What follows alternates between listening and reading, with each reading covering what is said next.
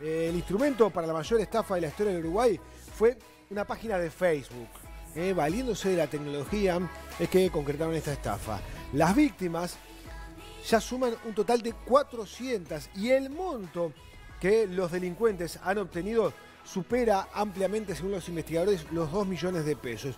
Los que ofrecen son falsos préstamos que oscilaban en su momento entre los mil dólares e incluso varios millones de dólares. Los interesados se contactaban preguntando los requisitos y los administradores de la página les pedían un número de WhatsApp para cerrar la negociación establecida. Allí les comunicaron eh, bueno, este, una cómoda forma de pago para poder concretar entonces el, préstamo. A menos de 48 horas eh, de ocurrido el contacto, los estafadores transmiten a los aspirantes que sus préstamos fueron concedidos y que deben enviar una suma que oscilaba entre los 5 mil pesos y los 32 mil pesos por concepto de gasto de administración que obviamente era lo que generaba entonces la estafa. Las cifras de lo que debían entregar por esos gastos de administración eh, variaban en función de la cantidad del dinero solicitado a modo de, préstamo. Las víctimas hacían los giros a través de, de red de cobranza, pero nunca, nunca recibían los préstamos. Reiteramos, ya aparentemente son cerca de 400 las personas que fueron estafadas por este grupo y yo me pregunto, ¿no? Eh, ¿Cómo podemos prevenir este tipo, este tipo de estafa? ¿Cómo podemos evitar caer en una estafa de estas características?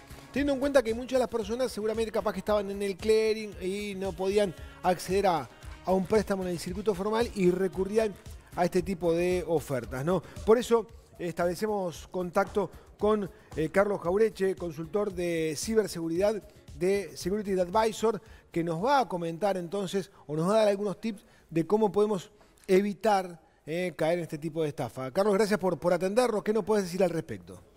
Hola Federico, buenos días. Este, bueno, estaba escuchando atentamente lo que estabas comentando sobre la, el método de, estafa y ahí queda claro que es un tema eh, básicamente de eh, gente que abusa de la desesperación, la, inexperiencia o la falta de información de parte de, del usuario, en este caso de su posible cliente dentro de la estafa.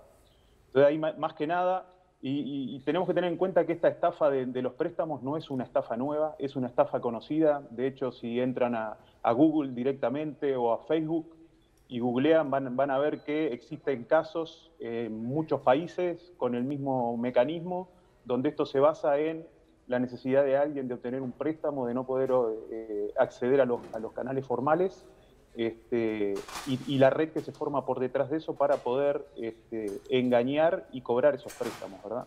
Entonces, básicamente yo diría que es un tema de concientización de la gente, de estar atento y como decimos siempre en redes sociales, siempre desconfiar, ya sea de un negocio, ya sea de una relación, eh, todo lo que tenga eh, o que provenga de redes sociales, eh, hay que desconfiar para poder, poder, para evitar caer en este tipo de estafas que estabas comentando. Claro, como decía, ¿no? Valiéndose de, casi que la necesidad y por qué no desesperación de la gente, que seguramente atraviesa una situación económica compleja y que ya tal vez tenían otras deudas encima, recurren a este tipo de ofertas que hasta para hacerla más atractiva, tal vez este, proponía una tasa de interés baja, vayan a saber. Ahora, lo que, lo que me llama la atención es el modus operandi, porque acá hay contacto vía WhatsApp, hay alguien a quien girarle dinero a través de red de cobranza y, que se haya tomado dos años de la investigación y en todo caso hayan caído 400 personas en la estafa, eso es lo que me llama la atención, ¿no? ¿Cómo lograron mantener tanto tiempo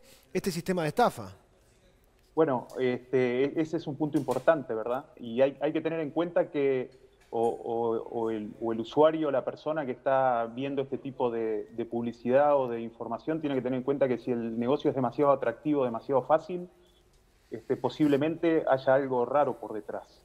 Este, después es, algo que tecnológicamente no tiene ningún tipo de, complejidad, sino que, como decía antes, esto se basa en, gente que confía eh, y se trata de, explotar o de abusar de esa desesperación que tiene.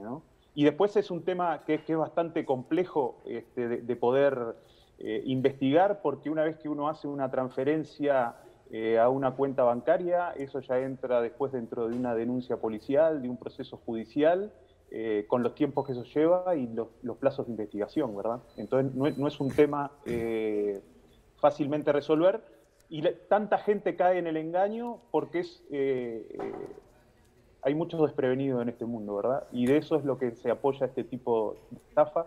Como digo, no es una estafa compleja, está este, disponible en redes sociales y el, público objetivo es, muy amplio. Claro, Carlos. Entonces ustedes de Security Advisor lo que recomiendan es estar muy atentos, desconfiar eh, y si la oferta es muy tentadora, bueno, abrir los ojos y en todo caso, bueno, terminar recurriendo a este, las, las empresas que están eh, formalmente establecidas en el, en el mercado. Exactamente. Eso, es, eso es uno de los puntos importantes, ¿verdad? todo este tipo de, temas que involucre eh, plata de por medio, tratar de canalizarlo a través de empresas que estén establecidas en el mercado, que traten con medios de pago, que sean medios de pago seguros, no solamente transferencias a, cuentas este, personales, ver dentro de la información de la, de la empresa que sea una empresa establecida, que tenga un contacto formal, que tenga una oficina física, que trabaje con un teléfono fijo también, no solamente que se maneje a través de celulares este, o, WhatsApp, como, como, es en este caso, eh, y siempre tratar de obtener algún tipo de, información de referencia. Hoy eh, hay mucha información en redes sociales sobre las estafas.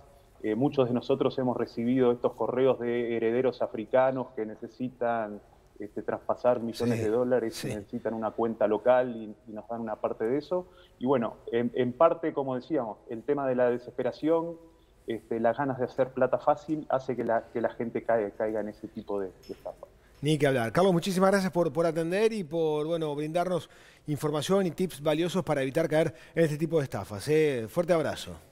Muy bien, muchas gracias. Era Carlos Jaureche, eh, consultor en ciberseguridad de Security Advisor. Las veces que me gané camionetas 4x4 eh, y cifras millonarias, eh, que me iba, y celulares de alta gama y viajes a no sé dónde y, herencia. Yo estoy podrido en plata. Decir que nunca, nunca giré el dinero, ¿no? Pero las veces que nos habrán llegado por mail o por mensaje de, de WhatsApp o de texto, este tipo de intento de estafa. Abrir los ganchos, a estar bien atentos, muy atentos para no caer entonces en estafa de estas características.